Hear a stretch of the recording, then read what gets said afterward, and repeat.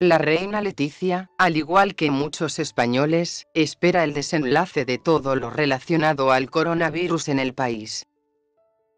Por esta razón, la misa de Pascua que todos los años se celebra en esta fecha fue suspendida.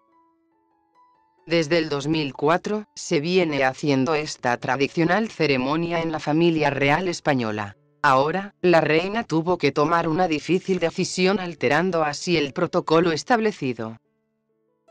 Todos los años la presencia de Leticia es vista por muchos con buenos ojos, más si muestra sus increíbles atuendos reales para cada ocasión, pero por este ciclo ya no se celebrará por el brote de coronavirus.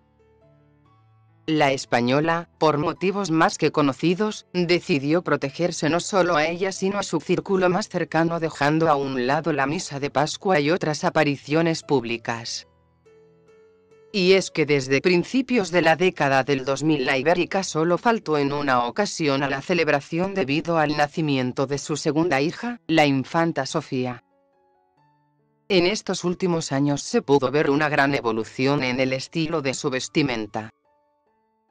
Una de las vitrinas que mejor se le da a la esposa de Felipe son estas misas y reuniones familiares donde puede enseñar lo mejor de su guardarropa, desde looks muy clásicos, hasta la utilización de colores vivos muy llamativos.